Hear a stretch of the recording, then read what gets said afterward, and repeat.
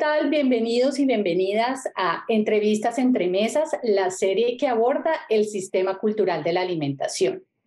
En cada entrega nosotros vamos de manera virtual a sentarnos en la mesa de los comensales, investigadoras o investigadores que estén trabajando con algún tema de la alimentación.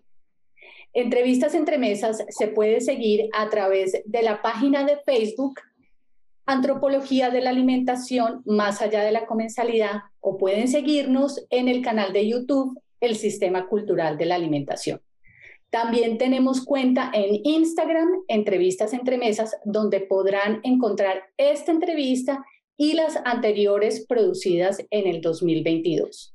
Para este 2023 ya hemos comenzado nuestra cuarta temporada y para el episodio de hoy queremos invitar a la doctora en antropología, Charlene Curiel, que va a abordar el tema de la antropología feminista de las cocinas. También queremos contarles que estamos siendo emitidos por el canal 22 y el canal de la UNAM gracias al apoyo de la CUAED, que es la Coordinación de Universidad Abierta, Innovación Educativa y Educación a Distancia de la Universidad Nacional Autónoma de México.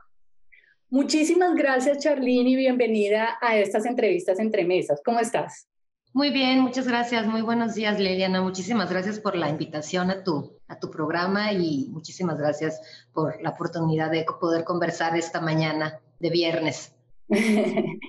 Gracias, Charlene. Pues a nosotros nos llamó mucho la atención el trabajo que tú vienes haciendo con eh, las cocinas en Oaxaca. Has estado estudiando, investigando todas las relaciones que existen en torno a las cocinas y a las cocineras en Oaxaca.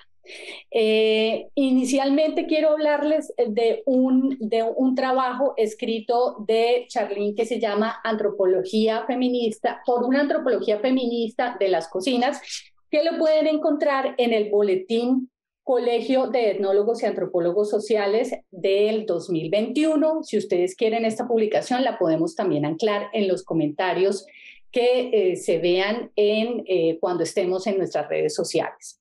Entonces, Charlene, eh, en esta publicación tú haces mención a un tema que resulta bastante fascinante, pero que también tiene un montón de conceptos que para los que no están familiarizados con la antropología o con el feminismo, pues les resulta un poco confuso. Entonces, eh, vamos a comenzar por lo, más, por lo más obvio o por lo principal, que es que nos definas en principio qué estudia la antropología feminista y cómo aborda entonces el tema de las cocinas aquí específicamente en Oaxaca, México.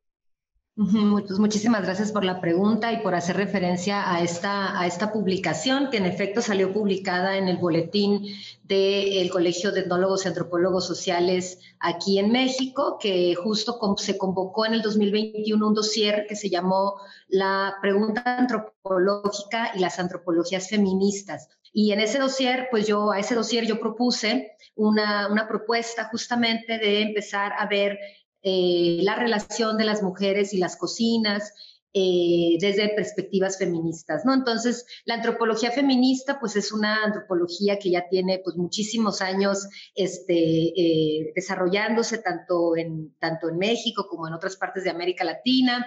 Este, en México tenemos pues emblemas, ¿no? Este, eh, como Marcela Lagarde, como Marta Patricia Castañeda, ¿no? Que son antropólogas que han desarrollado epistemologías, teorías, enfoques feministas, que obviamente lo que tratan es de subsanar una deuda histórica al interior de la antropología que históricamente había sido hecha con rasgos androcéntricos y obviamente con perspectivas y visiones sexistas y patriarcales, ¿no? En donde las mujeres en los estudios de la antropología pues aparecían siempre como actoras sociales de segunda clase, ¿no? Digamos, o periféricas o marginales, ¿no?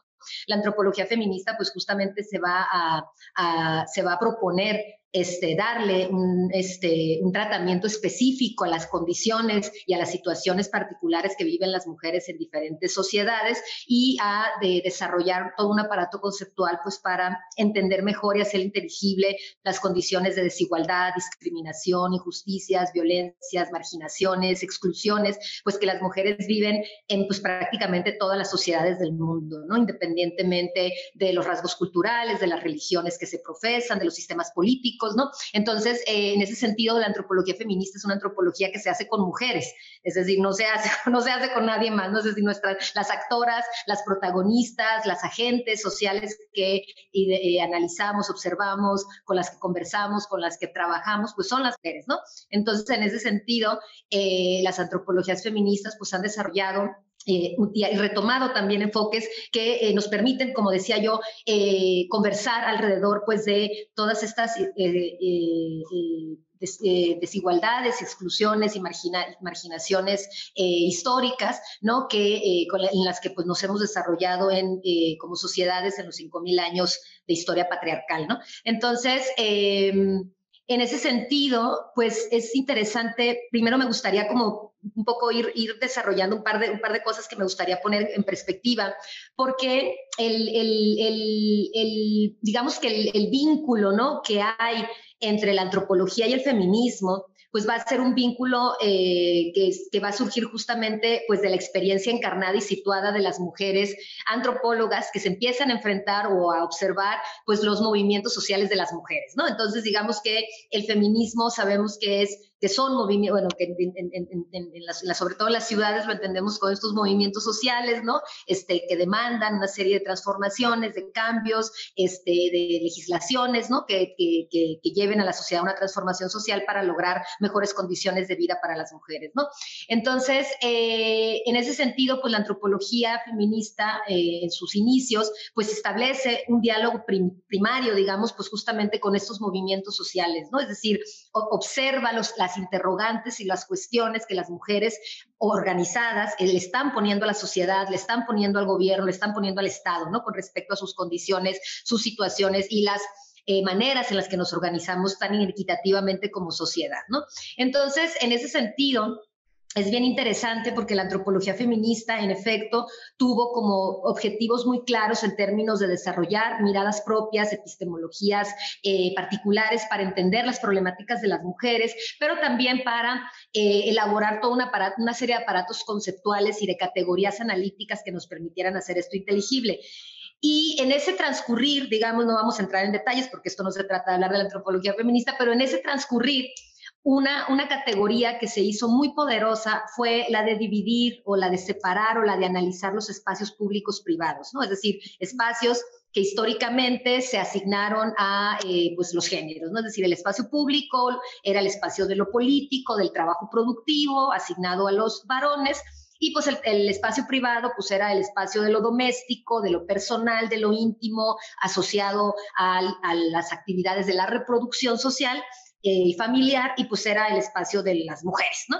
Entonces, en, ese, en esa, digamos, en esa en esa, esa categoría, ¿no? Que permitió entender, pues, cómo históricamente nos habíamos organizado como sociedad y que hay muchos asegúnes y muchas interrogantes alrededor de qué tanto operó realmente esa división tan tacante, ¿no? Pero si la tomamos como en serio, este, algo que es interesante es que el, todo, lo, todo lo que tiene que ver con las cocinas, obviamente, y con la comida y con la alimentación, pues quedó relegado al ámbito de lo doméstico, ¿no? Es decir, quedó relegado a las actividades históricamente impuestas a las mujeres.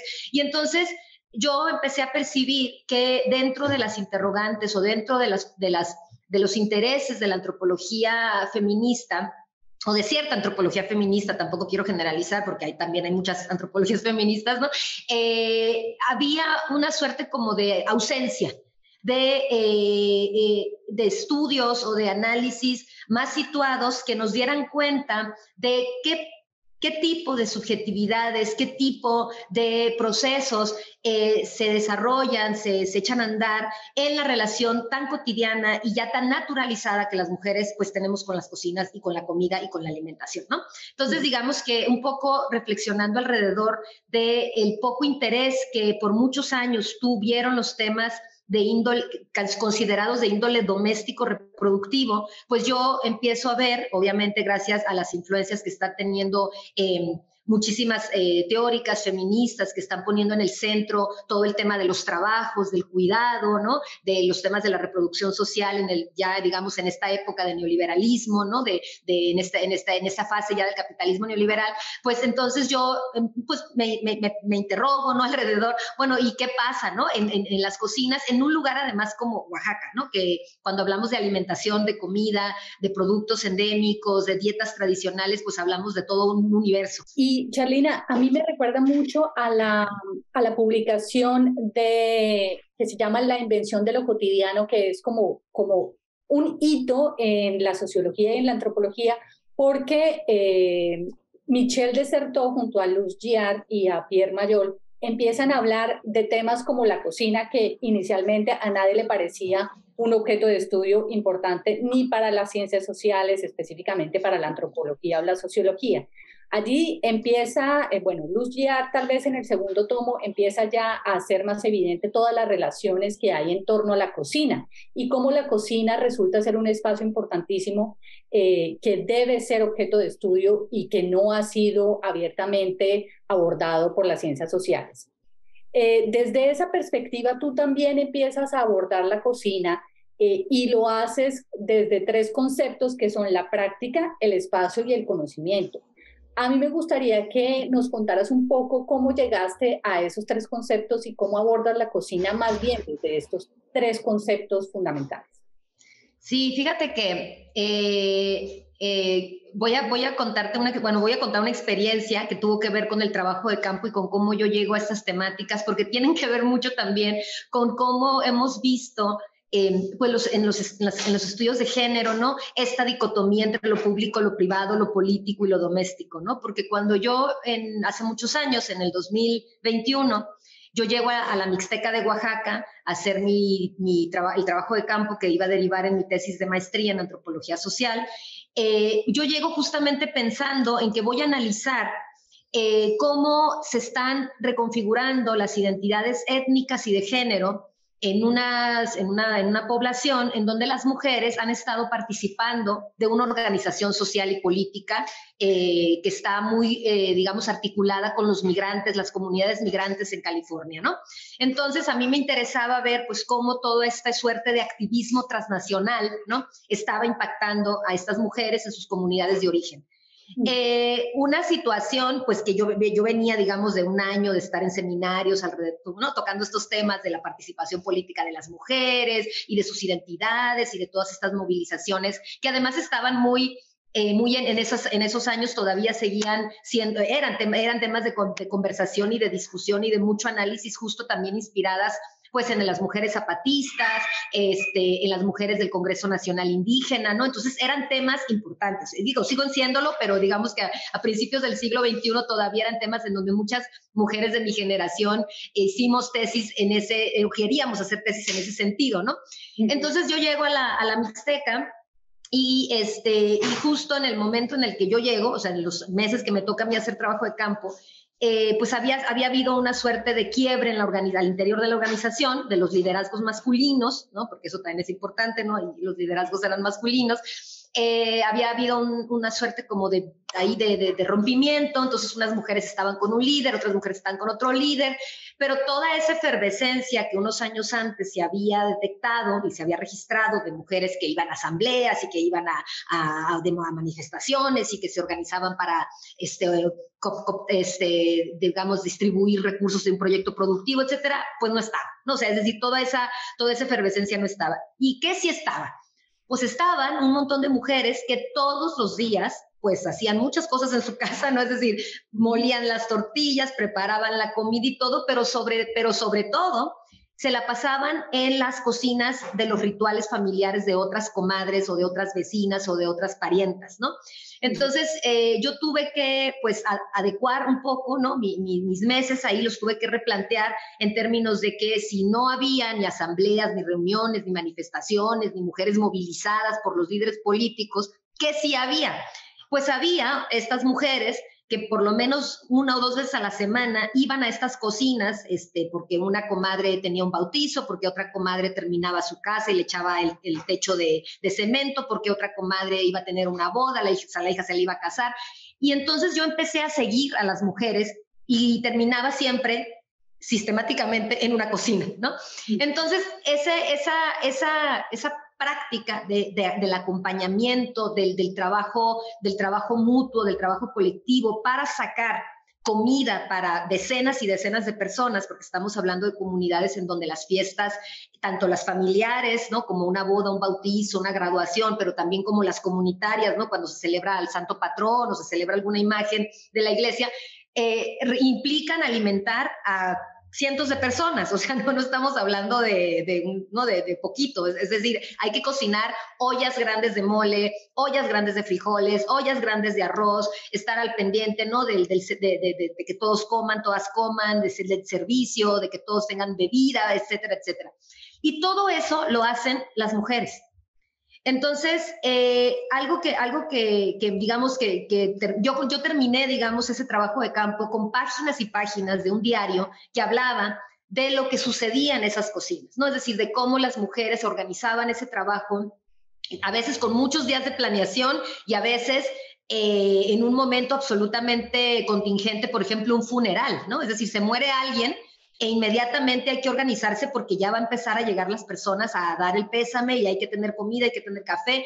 Y todo ese, todo ese trabajo, porque es trabajo, ahora lo podemos conceptualizar como trabajo, yo en ese momento no lo, no lo identificaba como tal, pero ya ahora con todo lo que sabemos, con todo lo que tenemos como, como teoría de la reproducción, como teorías del trabajo, etcétera, sabemos que son trabajo, eh, lo hacen las mujeres, ¿no? ¿Y qué implicaciones tiene? Pues tiene muchas implicaciones en términos de cómo se reproducen los roles de género tradicionales, pero también cómo podemos ver y problematizar cosas que en un desde un punto de vista de quizás de una postura un poco más liberal o más urbana o más occidental, pensaríamos que lo que tenemos ahí son mujeres y sistemáticamente oprimidas, eh, reprimidas y subordinadas, ¿no? A la imposición de roles de género, cuando una mirada situada y, como más, un poco como la oportunidad que tuve de yo de estar en tantas cocinas, en tantas fiestas, haciendo tantas cosas y conviviendo tanto con las mujeres, te das cuenta o te da, te da, te da la, te da la te da una imagen mucho más compleja de solamente la, subordinación versus la emancipación, ¿no? Sino que te da cuenta justamente de que son en las, son en las cocinas eh, o son las cocinas unos espacios muy importantes de expresión comunitaria para las mujeres, que si bien en esos pueblos muchas de ellas no van a las asambleas a elegir autoridades o no se proponen para ser autoridades municipales, lo que hacen en las cocinas sí genera una serie de capitales simbólicos y sociales, ¿no? Que ayudan a densificar ideas, eh, a, densificar ideas, pero también a materializar lo que las personas entienden por su pueblo o por su comunidad, ¿no? Entonces, en ese sentido, los conocimientos que tienen las mujeres, es decir, en términos de quién hace el mole y cómo se hace, cómo se atiende a las personas, cómo se sirven los platos, porque no es lo mismo el plato de hombre que el plato de mujer, que el plato de niño, ¿no? Este, cómo se sirve el plato que se manda a una casa de una familia que no estuvo acá, pero que mandó presente, es decir, todos todas esas cosas que, que, ahorita ya les llamamos saberes, ¿no? Es, esta nueva palabra, ¿no? Que le llamamos saberes, pero que es un conocimiento vital para ser parte de una comunidad, para ser reconocida en una comunidad, para tener una autoridad moral y definir e incidir en asuntos públicos de la comunidad, ¿no? Entonces, estas, estos, estos espacios, estas cocinas que, digamos que se configuran en términos físicos, porque son estas cinco, seis, cuatro paredes, ¿no? las cosas que hay ahí adentro, el anafre, el, el, los comales, las ollas, etcétera, pero digamos que también se expanden en términos como de los efectos que el trabajo que se hace allá adentro tiene para las mujeres a nivel comunitario, ¿no? Entonces, en eh, digamos que esas cosas esas cosas yo las pude observar pues estando justamente ahí con, las mujeres, ¿no? Como dice Marcela Lagarde, la antropología feminista es una antropología de estar con las mujeres, ¿no? Y, esa, y, esa, y conversar y escuchar la manera en la que definen, quién decide, ¿no? Y quién define qué hace qué, cómo se organizan las cosas en términos de las edades, de las generaciones, ¿no? Las relaciones entre mujeres intergeneracionales, las, también las relaciones, por ejemplo, parentales, ¿no? Es decir, la suegra y la nuera, este, la madre, la hija, etcétera, la, abuela y la nieta, ¿no? Es decir, todas estas, todas estas cuestiones de, parentesco, de relaciones sociales, de redes también familiares y comunitarias, se pueden observar perfectamente en, una, en una cocina comunitaria o en una cocina de familia cuando hay una fiesta, por ejemplo, y hay, pues, ¿qué te gusta? 20, 25, a veces 30 mujeres trabajando para sacar, digamos, la comida de ese compromiso en particular, ¿no? Sí, Charlene, aquí hay que recordar también a, las personas que nos están viendo que cuando Charlene hace referencia a que esto es un trabajo, es un trabajo que muchas veces es no remunerado, es un ah, trabajo que eh, requiere tiempo, que requiere esfuerzo, que requiere conocimiento y todo eso en otros lugares, en otros escenarios, sí es remunerado, mientras, mientras que en las cocinas pues realmente este trabajo no es remunerado. Eh, también me llama la atención que a partir de lo que tú cuentas, uno podría, digamos, de manera ingenua pensar que los feminismos están asociados a eh, esa agencia política en las calles, ¿no? Pero lo que tú mencionas es que este, este esta acción política esta agencia ocurre en las cocinas, en lo doméstico, es decir, que sí tiene una propuesta política, que sí moviliza un montón de afectos, que sí moviliza un montón de agencias que son eh, eh, realizadas por las mujeres y sobre todo que sí hay unas posturas frente a lo femenino desde la cocina. Entonces, esto me llama poderosamente la atención porque eh, también me hace pensar en esa dimensión política de la cocina que de pronto tú la has abordado desde los estudios feministas. Tienes, eh, digamos, ¿nos podrías contar un poco más sobre esa dimensión política que tienen las mujeres en las cocinas, que ya sabemos que eh, existe esa, esa profunda eh, fuerza política también desde lo doméstico? Sí, mira, yo creo que, yo creo que ahorita hablar en general este, del, del fenómeno alimentario es sumamente político, es decir, ¿qué estamos comiendo? Cómo estamos comiendo, cómo han estado cambiando nuestras dietas, qué productos estamos incorporando a, nuestras, a nuestros hábitos alimenticios, de qué manera estamos comiendo, cómo está transformándose la comensalidad. Todo eso es profundamente político, ¿no? O sea, porque nuestro cuerpo también es territorio, ¿no? Es nuestro cuerpo territorio y lo que introducimos a él, pues tiene mucho que ver con justamente cómo está cambiando el contexto alimentario o los, digamos, o la situación alimentaria en la que estamos viviendo, ¿no? En, en, lugares como, en lugares rurales o en lugares indígenas, lamentablemente también está llegando, pues, esta dieta neoliberal, ¿no? Que le llamamos ahora dieta de, de, de, agroindustria, ¿no? En donde, pues, todos los productos ultraprocesados, eh, están llegando, o sea, no, no, no hay camino a veces para llegar a una comunidad, pero ya hay un refrigerador con Coca-Cola y una serie de productos eh, hiperindustrializados, ¿no? Que ya sabemos contenido, ¿no? Y su, dudosa procedencia, etcétera, ¿no? Entonces, eh, en ese sentido, que, que, haya una inversión de tiempo y una energía eh, en, en, en, las mujeres de mantener dietas tradicionales, platillos eh, propios, el manejo de este, hierbas y plantas y cultivos endémicos, pues es sumamente político, ¿no? Es decir, es, una contratendencia a justamente pues lo que viene de, eh, afuera, ¿no? De la, de la, de, de las, de la, con la llegada de las, de, las, tiendas de conveniencia que llevan estos productos e incluso la misma política pública alimentaria promueve el consumo de productos ultraprocesados, ¿no? En México la política pública alimentaria no está abonando en una recuperación de las dietas tradicionales o de los productos endémicos, al contrario, ¿no? Le lleva a la gente cosas enlatadas, le lleva a la gente la soya, ¿no? El, aceite, es decir, entonces el hecho de que, de que, de que en estos lugares haya haya mujeres eh, todavía muy comprometidas, conocedoras, ¿no? También del poder que tienen también los alimentos de curarnos, de mantenernos con bienestar, ¿no? De mantenernos con buena salud, pues es un, es un elemento sumamente político. Y ahorita no está sucediendo eso solamente en las comunidades eh, eh, rurales, ¿no? O indígenas.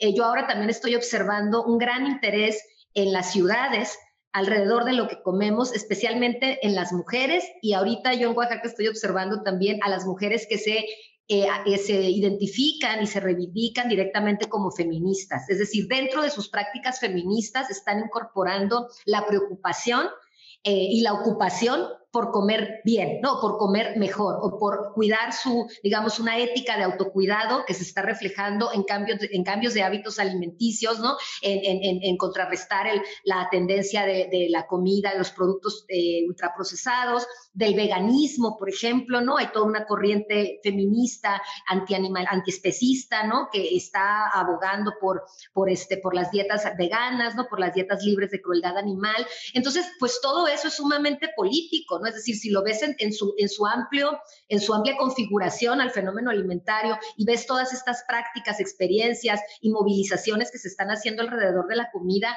pues esto ya desbordó el mero ámbito de lo doméstico, ¿no? Es decir, ya está haciendo cuestionamientos más amplios a la agroindustria, al Estado, al tipo de política pública que se está, que se está implementando, a, la, a, veces a la, a la, a la a la inoperancia ¿no? de algunas legislaciones. Por ejemplo, aquí en Oaxaca este, tenemos una legislación que se aprobó hace dos o tres años que prohíbe la venta de productos eh, ultraprocesados a menores de edad, pero pues es una ley que está en un papel, pero en la, en la práctica este, esto no, esto no, esto no opera y son mujeres las que se han estado organizando para justamente denunciar pues, eh, y, tratar eh, de, establecer o de, o de echar a andar otro tipo de estrategias para contrarrestar pues, los males que el consumo de comida, comida ultraprocesada y de, y de, y de bebidas endulcoloradas, pues tienen la salud de ellas y de sus criaturas, ¿no? Porque ahora tenemos también en México, pues una infancia muy enferma, ¿no? De, este, con, con altos niveles de, de, obesidad, de diabetes, etcétera. Eh, entonces, y son las mujeres las que están en la primera línea, ¿no? De, digamos, de estas, de estas defensas y pues resistencias, pero también proponiendo otro tipo de existencias, ¿no? Alrededor de cómo comemos y nos relacionamos con los alimentos.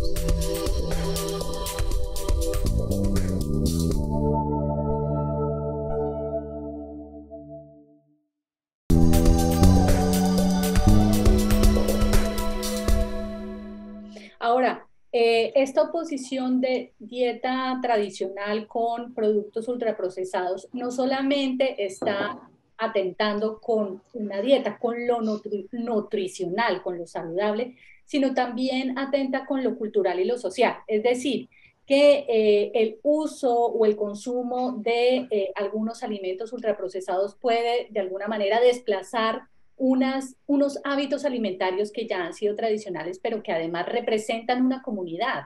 Entonces, esto también es importante de entender porque cuando hablamos de este cambio de dieta, de las dietas tradicionales pasando a las dietas con contenido de comida ultraprocesada, estamos hablando también de unas pérdidas culturales importantes. Y al perder, eh, al tener estas pérdidas culturales, pues hay algunos menús o eh, algunos platillos que tienden a a dejar de ser consumidos y preparados.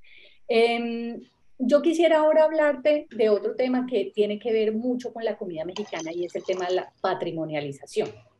Recordemos que en el 2010, para los que no son mexicanos y están viendo estos videos, en el 2010 eh, la comida tradicional mexicana eh, se inscribió a la lista de patrimonio inmaterial de la humanidad por parte de la UNESCO. Esto significó eh, unos pesos simbólicos en la población mexicana importantísimos porque empezaron también, bueno, ustedes ya venían desde hace mucho tiempo hablando de su alimentación, de su comida y de sus prácticas alimentarias, quizá mucho más que otros latinoamericanos. Eh, pero digamos que este, esta, esta inscripción a la lista les permitió empezar a crear unas políticas públicas de patrimonialización.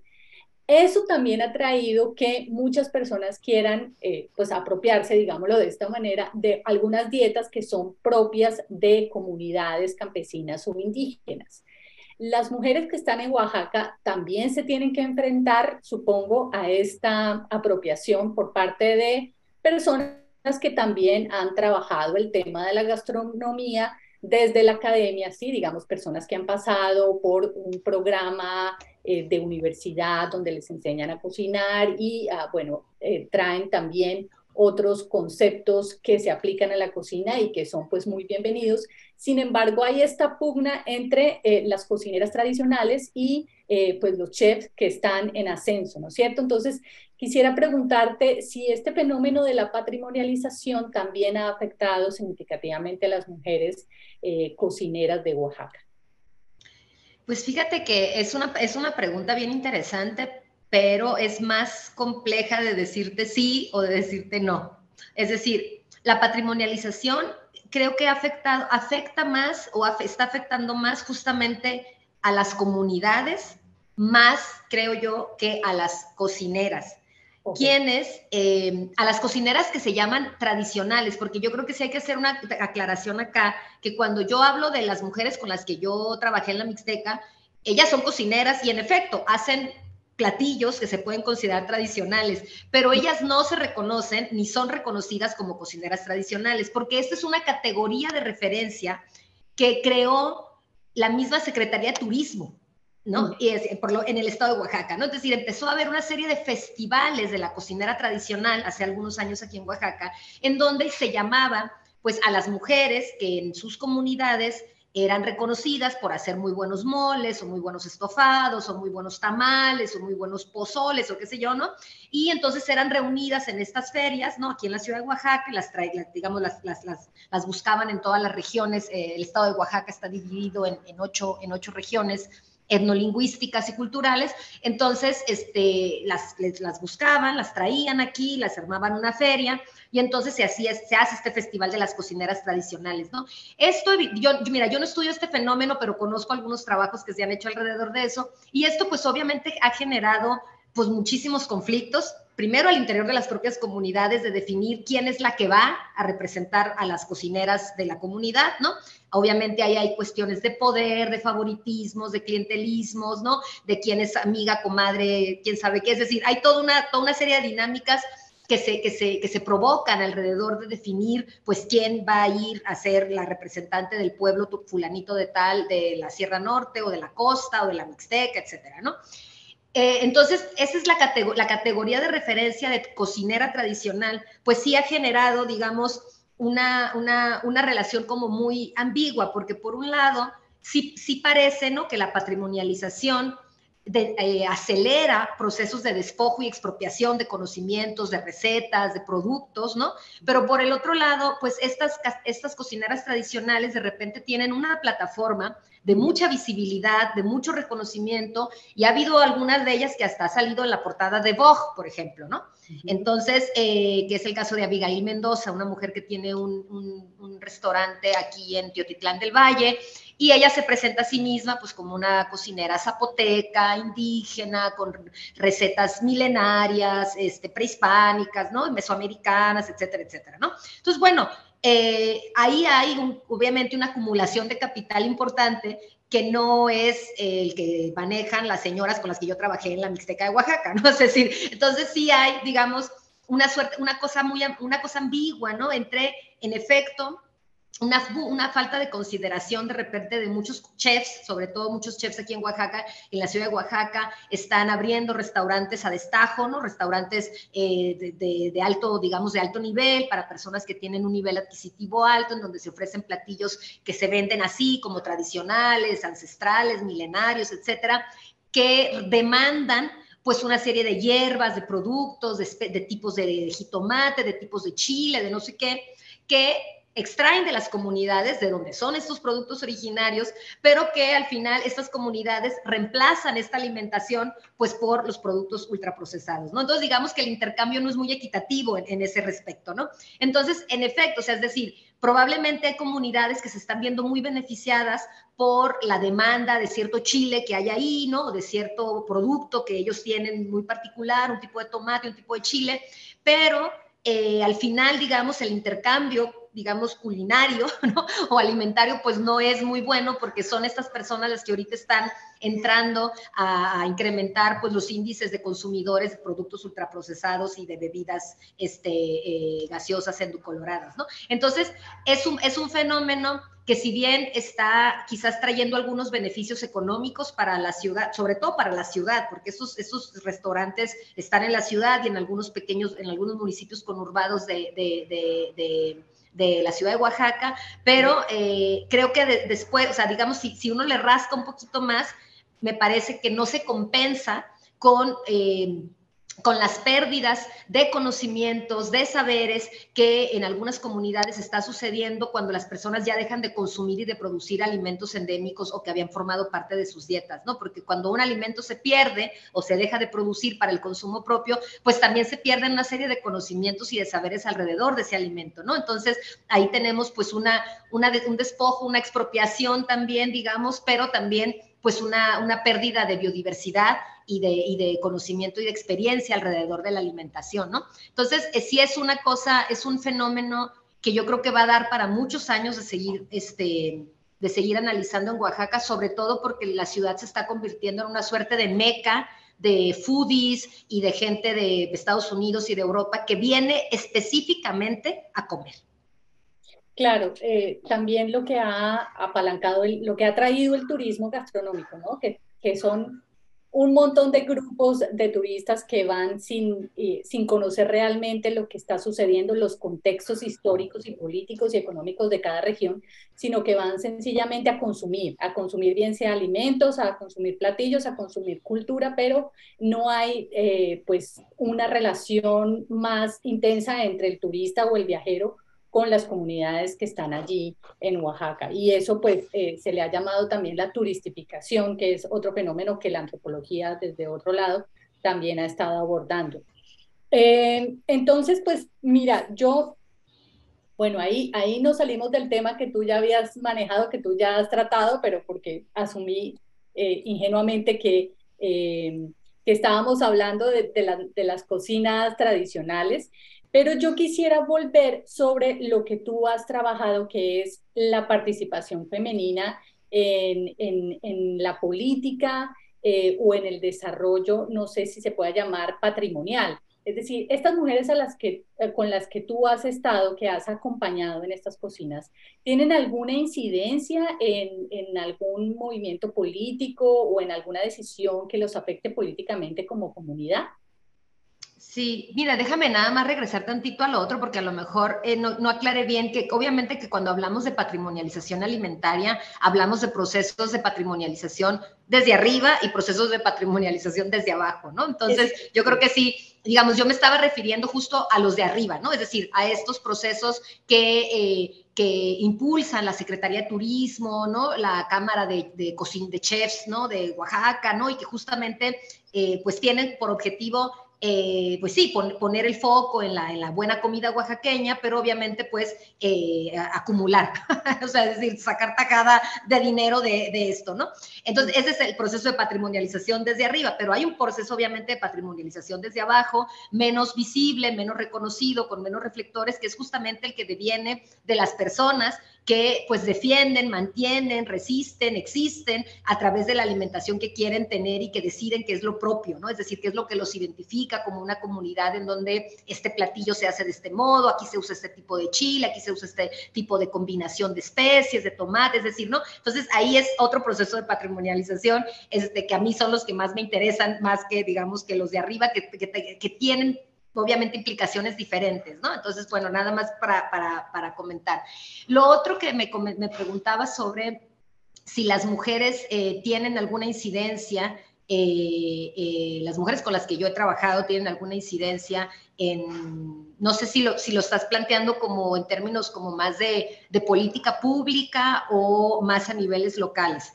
No, yo creo que a niveles locales. Bueno, no sé si exista también a, a nivel de política pública, pero me da la sensación de que las mujeres que tú has acompañado, pues sí tienen una incidencia tal vez en, en, en, una vida cotidiana y en la política local, ¿no? No sé si, si tengas ejemplos, y nos puedas contar tu experiencia allí. Sí, pues algo, un poco volviendo a lo que ya había comentado este, cuando les, les platicaba de cómo es que yo llego a la Mixteca y con qué expectativas llegué yo a trabajar justamente el tema de las mujeres que participan en, en la política, en las organizaciones sociales y demás. Eh, lo, que yo, lo que yo justamente empecé a percibir es que, que luego también eso es mucho de, la, de las, de las cosas que a veces en, en, en, en la, la, bibliografía eh, se, parece, parece un sentido común, ¿no? De repente eh, se desarrolla un sentido común eh, porque alguien escribió una, una, vez una cosa y de ahí sale como una suerte como de, como de discurso generalizado que generaliza y dice, a ah, las mujeres indígenas no participan en la política de sus comunidades, ¿no? Entonces, hay toda esta insistencia de las mujeres que no somos indígenas y que no vivimos en esas comunidades, de que las mujeres deben de participar en la política de sus comunidades, ¿no? Sin preguntarles si ellas quieren, si les gusta la idea, si les parece, ¿no? O sea, nosotras queremos que ellas participen e incidan en la política de sus comunidades, ¿no? Entonces, en esta lógica también de seguir distinguiendo de manera muy tajante, ¿no? Y dicotómica qué es la política y qué no lo es, ¿no? Y qué es lo otro, lo doméstico, íntimo, personal, etcétera, etcétera, ¿no? Entonces,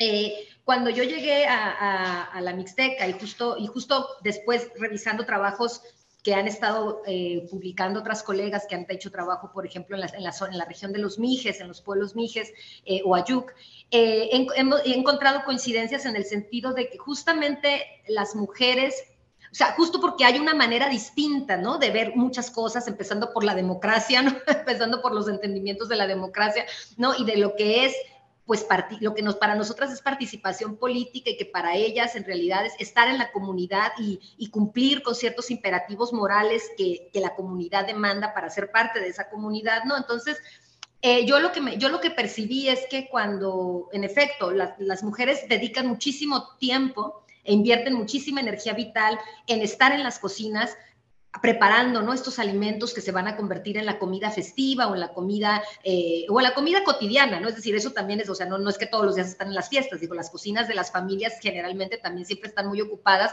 pues porque hay que alimentar a la familia y en estos pueblos sabemos pues que las familias no son chiquitas, ¿no? O sea, son, son familias extendidas, vive la abuela, el abuelo, la hija, el esposo, los nietos, es decir, ¿no? Entonces hay que cocinar para mucha gente siempre, casi, casi siempre todos los días, ¿no? Entonces, es que lo que me di cuenta es que esta, esta inversión, eh, esta manera de involucrarse en, en, esos trabajos, en estas labores, que además son de mucho tiempo, ¿no? Porque estamos hablando de, eh, de que preparar un mole de una boda son tres días de trabajo, ¿no? Es decir, es desvenar chiles, preparar recaudos, este, tostar cosas en el comal, o sea, estamos hablando de tres días, cuatro días de mujeres este, rigurosamente reunidas en cocinas de las 8 de la mañana a las 6 de la tarde, ¿no? Entonces, eh, pero es todo esto, eh, se, va, se va traduciendo en las maneras de, relacionarse al interior de las comunidades en capitales. Decía yo hace ratito, ¿no? En capitales simbólicos. Y estos capitales simbólicos, justamente en la transición, digamos, de los finales de los años 90, principios de los 2000, en donde se va a empezar a poner un foco muy específico en la participación política de las mujeres indígenas, ¿no? De las mujeres en, el campo, las mujeres rurales, etcétera. Eh, vamos, yo empecé a identificar que este, esta, esta manera de, de, digamos, de involucrarse con la comunidad desde las cocinas, a muchas de estas mujeres les redituaba en recursos simbólicos que después eran usados justamente para incidir en asuntos comunitarios, ¿no? Es decir, cuando se, justamente a finales de los 90 que se empieza a poner en, el centro de la discusión esta, esta, esta problemática sobre eh, pues la participación de las mujeres indígenas, ¿no? Porque las zapatistas lo traen a colación, la, el Congreso Nacional Indígena, con las mujeres de la, de la CONAMI lo, lo ponen otra vez a discutir. Entonces lo que vemos es cómo eh, para ellas o sea, en, estas comunidades, hacer este tipo de involucramiento, o sea, involucrarse con la comunidad de esta manera, les permite tener una legitimidad y una autoridad moral que, que les, las, las habilita para poder, digamos, eh, participar o estar o tener una presencia y una voz en el espacio que consideramos lo público, ¿no? Es decir, lo comunitario, ¿no? Las asambleas, la elección de autoridades, eh, opinar sobre alguna obra que se quiere hacer en la comunidad, en dónde se va a invertir cierto dinero, qué tipo de arreglo se le va a hacer a la iglesia, o sea, si se va a recibir o no se va a recibir apoyo de cierto partido político, ¿no? Es decir, ese tipo de cosas, de ese tipo de cosas pueden tomar parte estas mujeres siempre y cuando tengan en su, digamos, en su, en su, en su antecedente, en su experiencia, el, haber el haberse involucrado en la comunidad haciendo este tipo de cosas, es decir, participando en las cocinas, que en, en, en, en, estos pueblos se dice acompañar, ¿no? Es decir, ir a acompañar a una comadre es ir a ayudarla a sacar adelante su compromiso con respecto a, lo que hay que dar de comer, ¿no? Y a servir a, los invitados y a las invitadas. Entonces, esto, esto, que, esto que, esto a mí me parece muy interesante, ¿no? Porque forma parte como de una,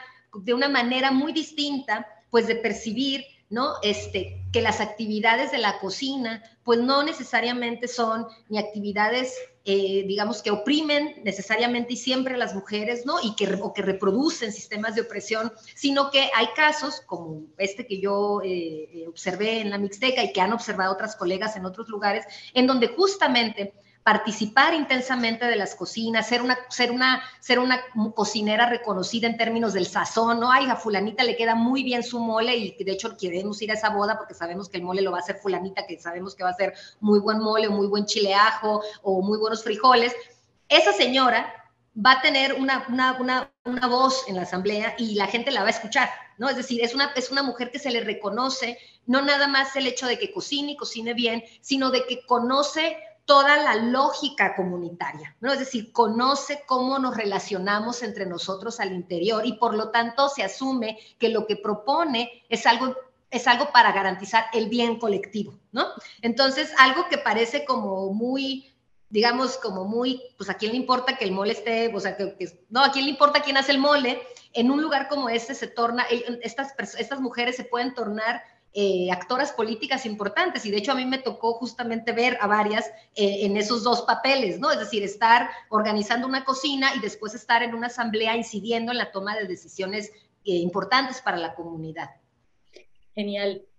Genial, Charlene, porque tú acabas de hacer un ejercicio eh, conmigo que es de ajustar siempre la mirada, ¿no? Nosotras siempre pensamos que, ay, bueno, como yo, como en nuestras comunidades o en nuestras sociedades se hace de esta manera, supongo que todo el mundo lo hace igual y no es así. Justamente por eso hablas de las existencias de, de, de otras formas de cocinar y de crear comunidad eh, como pasa o como sucede en la Mixteca, Oaxaca.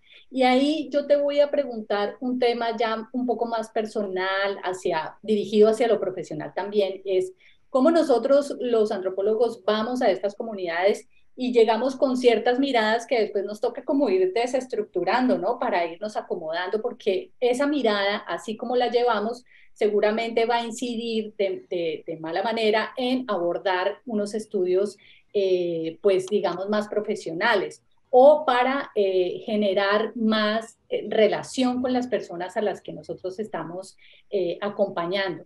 Entonces, mi pregunta va hacia, hacia eso, hacia lo personal. ¿Tuviste que hacer algún proceso durante o antes o después del acompañamiento con estas mujeres para que como antropóloga eh, esa hegemonía un poco que tenemos desde la academia, que, nos regala la academia, se fuera eh, diluyendo y más bien creando esas relaciones más horizontales con las mujeres? Sí, evidentemente, evidentemente, eh, evidentemente sí, porque pues yo insisto, ¿no? Llegué con, una, con un esquema de lo que quería encontrar, ¿no? Y en efecto, yo quería encontrar mujeres muy emancipadas que estuvieran cuestionando al Estado y al patriarcado, ¿no? Y etcétera, etcétera, este, y, este, y muy movilizadas por todo el tema del activismo transnacional y, este, apoyando también a los migrantes en las comunidades de, de California, etcétera.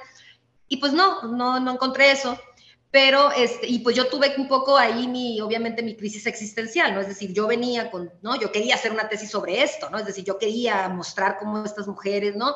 Este, todavía yo en ese momento eh, no cuestionaba tanto el concepto de empoderamiento, por ejemplo, ¿no? Que era un concepto que todo, con el que yo todavía coqueteaba un poco, entonces de repente yo llegué hasta proponer ahí el empoderamiento, ¿no? De las mujeres que, que, que se organizan en, ¿no? en, un movimiento social transnacional. Y, pues no, o sea, digamos que todas estas cosas, una, vez entrando en la vida cotidiana, viviendo ahí, pues yendo con las mujeres, ahí andan de metiche, ¿no? Tocando puertas, metiéndome a las cocinas. Y algo que, algo que yo creo que también es, es, bien, es, es importante decir es que yo creo que este tipo de trabajo no lo puede hacer alguien que no le guste la cocina, pero a mí me gusta mucho la cocina, a mí me gusta cocinar y a mí me gusta estar en las cocinas y me gusta estar entre ollas y entre sartenes y en el chisme con las mujeres. Entonces, cuando me di cuenta de que yo podía convertir ese gran placer que tengo en un tema de investigación, la verdad lo disfruté muchísimo, ¿no? Es decir, decidí que ese, iba, ese podía ser un tema de investigación, eh, digamos, de, de, ahí en adelante, ¿no? Entonces, yo creo que hay que, sí, en efecto, o sea, hubo que, hubo un momento como de reajuste, eh, me costó mucho trabajo darme cuenta de que lo que yo estaba viendo había que problematizarlo, ¿no? En términos de teoría antropológica, ¿no? De teoría social, porque para mí pues ya se había convertido en un gozo estar todo el tiempo haciendo trabajo de campo entre fiestas y cocinas y moles y, y frijoles y tortillas, ¿no? Es decir, fue, o sea, terminé ese trabajo de campo con seis kilos de más, por supuesto, pero este pero sí, o sea, es decir, después más bien el diálogo era, ¿y yo qué hago con todas estas hojas y páginas de mujeres que, me, que, ¿no? que están en las cocinas y que luego me han hablado de sus vidas y que luego también las veo como se, ¿no? se articulan con la comunidad, pero tampoco ya participan políticamente en la organización. Es decir, entonces hay que ahí sí como volver un poco a la realidad de, pues de lo que nos toca hacer ¿no? desde la academia y entonces ver cómo se puentea y se establecen diálogos para esto. ¿no? Lamentablemente, en los años en los que yo realicé este trabajo, todavía no hablábamos de manera tan contundente alrededor pues de los trabajos no remunerados, del trabajo reproductivo, de los trabajos de cuidados, ¿no? Es por eso que yo en los últimos años he tratado de recuperar ese interés y empezar a ver, a ver, ¿no? Es todas estas referencias empíricas, porque ahorita ya, nada, ya no nada más es la Mixteca, digamos, hay, hay muchas otras referencias aquí en los valles centrales también de mujeres que, pues, digamos, de mujeres, de mujeres este, comprometidas, ¿no? Con este tipo de, dietas, de defensas, de la alimentación, comprometidas con, con, este, con la lucha en contra de la, de la, de la, del producto, de los productos chatarra.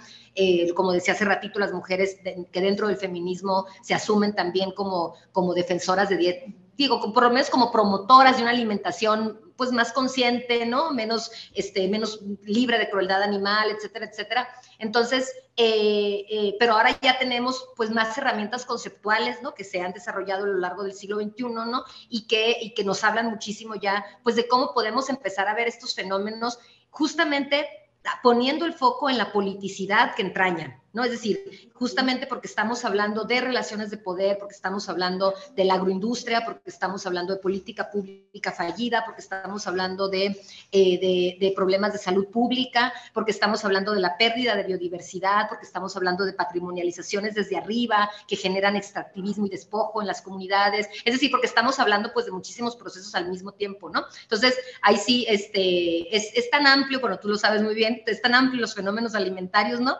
Pero este, mantener el foco en, ese sentido para mí, en las relaciones que las mujeres establecen con los espacios cocina y cómo esto, digamos, deriva ¿no? en una serie de cuestionamientos hacia afuera, pero también hacia la producción de sus propias subjetividades, pues para mí es sumamente, es sumamente importante y además me permite pues seguir estando con las mujeres en las cocinas, porque todas las entrevistas que yo hago ahora, pues las hago con mujeres en sus cocinas.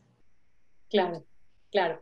Y yo quisiera, bueno, ya para ir cerrando este espacio, preguntarte por una idea que tú tienes, no sé si esto vuelva a, lo mismo o a ser repetitivo. Eh, tú mencionas, eh, tú dices que la comida como voz, la comida es una voz, ¿no?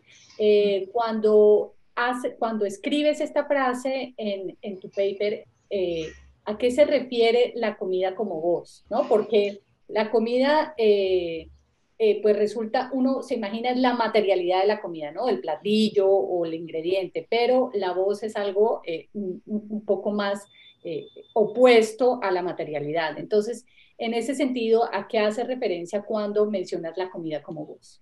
Mira, esa noción no es mía, yo la estoy citando de, casi estoy segura que este, si no es de Meredith Abarca, es de, ahorita no sé si es de Carol Cunningham, pero es una, es una, es una, de, las, es una de las autoras que yo cito en ese trabajo y que, y que permiten justamente ir haciendo una suerte de genealogía de cómo eh, los estudios de, la de estudios de la alimentación o de la comida, ¿no? Que en inglés no hay distinción porque se llaman food studies, ¿no? Es decir, no, no hay distinción entre alimentación y comida y cocina, ¿no? Es decir, food studies pues es prácticamente todo, pero cómo los food studies empiezan a dialogar con las perspectivas feministas, ¿no? Y muchos de estos, estos trabajos que yo, que yo recupero en este artículo para ir dando cuenta como de esta genealogía y cómo se van generando estas, estas, estas relaciones entre, entre teorías feministas y estudios de las cocinas, eh, algunos de los trabajos que yo cito son sobre todo con mujeres, eh, digamos, racializadas, ¿no? que están en Estados Unidos, ¿no? Mujeres este, latinoamericanas, mexicoamericanas que están en Estados Unidos y que de las que se asumen, ¿no? Porque eso habría que verlo, qué pasa con las mujeres norteamericanas, blancas, urbanas, no sé, porque la verdad yo sé poco, ¿no? De cuál es la relación que tienen estas mujeres con sus cocinas, pero pues las latinoamericanas este, sabemos, las mexicanas se asumen, las mexicoamericanas, pues se asume que eh, somos mujeres, son mujeres que en Estados Unidos pues todavía tienen una relación con sus recetas, con sus cocinas, ¿no? Con su, este, con, la sociabilidad o la comensalidad, ¿no? Que quieren mantener, de que coman, comer en familia, etc. Seguramente todo eso está cambiando y no hay que generalizar tampoco, pero eh, en, en, uno de estos textos que yo, que yo reviso y que yo cito en el trabajo de la cocina como voz, justamente lo que está haciendo referencia a la autora es cómo, cómo las maneras de hacer de comer, la importancia, la inversión, la energía vital que las mujeres empeñan en eh, mantener, digamos, o en tener una comensalidad, que a lo mejor ya ni siquiera es de dietas tradicionales, ¿eh? Ponle tú que ya también hay Coca-Cola y hay McDonald's y hay quien sé qué, pero digamos que eso nos está hablando justamente pues de un proceso de subjetivación, ¿no? Es decir, nos está hablando de cómo las mujeres se producen también, digo, hay, obviamente hay relaciones estructurales y regímenes de poder, etcétera, pero cómo también ellas se posicionan, ¿no? Frente, pues, a, a, las cuestiones alimentarias, a las cuestiones de la comida, ¿no? En su relación con estas comidas que, pues, a lo mejor para sus madres y sus abuelas eran muy importantes, pero ya ellas no las pueden preparar igual porque no tienen tiempo, porque no están los ingredientes a la mano, porque no es la temporada, porque a sus hijos ya no les gusta esa comida, es decir, pero cómo entonces la comida como voz está reflejando justamente también estas tensiones y contradicciones que muchas mujeres que son migrantes, que se enfrentan a contextos distintos, ¿no?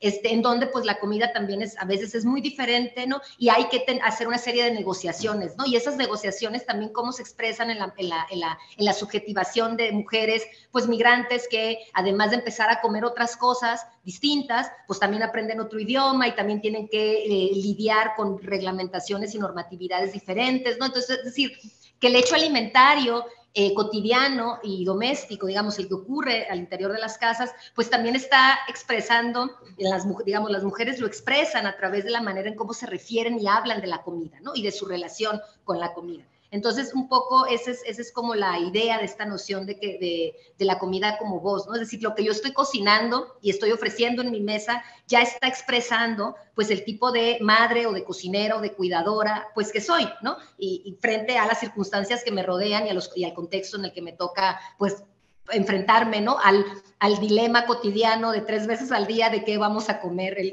qué vamos a desayunar, qué vamos a comer, qué vamos a cenar. Sí, yo creo que esa es una de las preguntas más difíciles que, a las que se enfrentan las personas que diariamente están cocinando para sus familias o para otras personas. Es, ¿qué vamos a comer hoy? Parece una pregunta sencilla, pero realmente requiere de un trabajo enorme porque se necesita que la persona esté permanentemente creando platillos o permanentemente creando estrategias para alimentar a los suyos, que es también otro trabajo que no es tan remunerado. Charlene, ya vamos llegando al final de esta entrevista y antes de terminar, a mí me gustaría que tú invitaras a todas las personas que están viendo esta entrevista a que cuentes cuáles son tus redes sociales, a que te sigan, eh, a que te vean, a que te escuchen en el podcast. Creo que tienes, has, has trabajado también con temas de podcast, entonces nos gustaría mucho que compartieras cuáles son tus coordenadas en redes sociales para que te sigamos. Ay, mira, yo soy una mujer análoga del siglo XX, entonces solo, tengo, solo tengo Facebook, este, soy malísima, no, no tengo otra cosa, o sea, solo tengo un Facebook con mi nombre, este, tengo mi, obviamente tengo mi perfil de academia, en donde están todas mis, pues, mis publicaciones este, pues, recientes y un poquito más antiguas. Este, ahí se pueden encontrar, además del artículo al que estás haciendo mención, eh, la presentación que hice de, de, una, de, un dossier, de un dossier temático sobre mujeres y cocinas en Oaxaca, que lo, editamos en el 2020 para la revista Cuadernos del Sur. Y ahí hago una presentación eh, a cinco artículos de reciente, digamos, creación, de hechos por investigadoras y, y, un investigador muy jóvenes, productos de tesis realizadas justo sobre las relaciones de las mujeres y las cocinas en Oaxaca. Entonces, este, yo hice la presentación, yo hice la selección de textos y este, pues el número quedó muy bonito, eso lo pueden encontrar ahí. Y también algunos capítulos en libro que han estado, pues que están, que tratan, ¿no? El tema de lo alimentario, de las cocinas. Y este, entonces en academia eh, pueden encontrar eh, con mi nombre eh, pues estas publicaciones y pues nada más en Facebook y pues sí, es eso. Y los podcasts que comentas fueron producto de un programa de radio que conduje por muchos, mucho tiempo, como un año y medio, pero que ya lamentablemente llegó a su fin el año pasado. pero muchas gracias por recordarlo, Lilian. No, con muchísimo gusto, Charlene, y de verdad un gusto poderte tener aquí y esperamos eh, tenerte en otra oportunidad para seguir conversando sobre temas de alimentación desde esa perspectiva de la antropología feminista. Muchas gracias, Charlene. Muchas gracias, muchas gracias a ti.